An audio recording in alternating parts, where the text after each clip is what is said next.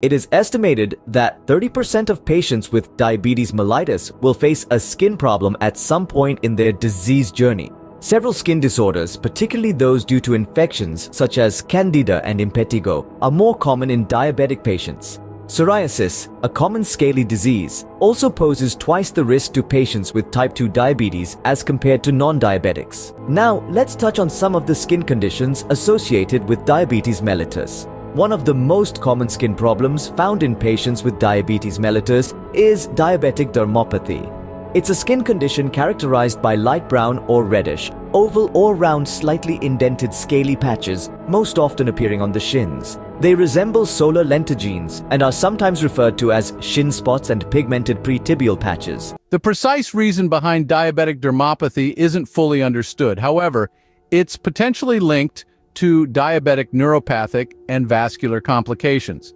This theory is backed by studies which revealed that this condition appears frequently in diabetic patients who also suffer from retinopathy, neuropathy, and nephropathy.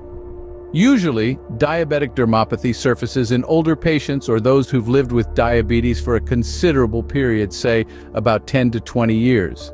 A close correlation has been observed between diabetic dermopathy and higher levels of glycosylated hemoglobin, which is a sign of poorly controlled blood glucose levels.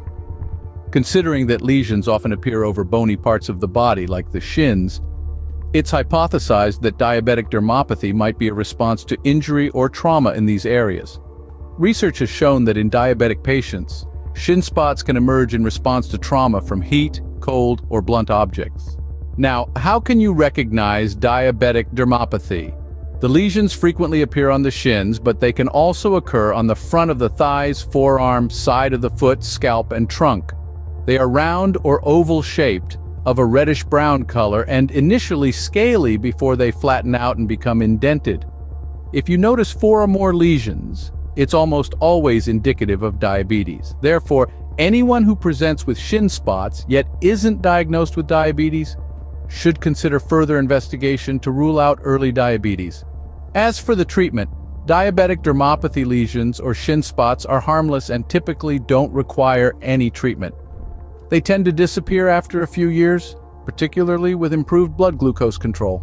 But there are other skin conditions that can occur in diabetes, like diabetic bullae and diabetic stiff skin. Diabetic bullae, also known as bullosis diabeticorum, are blister-like lesions that spontaneously occur on the feet and hands of diabetic patients. They're more prevalent in men, and in those who have long-standing diabetes or multiple diabetic complications, particularly neuropathy. Another condition is diabetic stiff skin, also known as diabetic cheiroarthropathy or digital sclerosis. This results in restricted mobility of the joints of their hands and stiff, waxy, thickened, and yellowed skin. This is thought to be due to the reaction of glucose with proteins in the skin and increased glycation end products. One of the most prevalent skin conditions linked to diabetes is foot ulcers. These are open sores that don't heal or keep returning, often due to poor blood circulation and nerve damage in the feet. They can be painful and require immediate medical attention to prevent infections or even amputation. Necrobiosis lipoidica is another condition often seen in diabetics. It manifests as yellow, waxy plaques on the shin, often with a purple border. Though it's not painful, it can be a cause of concern due to its appearance. Diabetics with renal failure may experience reactive perforating collagenosis and Kyrle disease, causing protruding nodules or lesions on the skin, which can be uncomfortable and may result in scarring. Scleredema, a rare complication of type 2 diabetes, causes skin thickening, usually on the neck and upper back. It can be quite bothersome as it limits mobility and can be cosmetically displeasing.